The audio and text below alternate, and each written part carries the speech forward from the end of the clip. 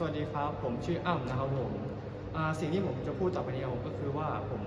จะเรียนจบปโทนะครับผมแล้วก็จะทำงานสายวัฒนธรรมครับผมแล้วก็ ผมจะเอาผลงานศิลปะชิ้นนี้ครับผมไปไว้ที่บ้านตรงชั้นสองเราให้ผมเป็นเก็บไว้เป็นงานศิลปะ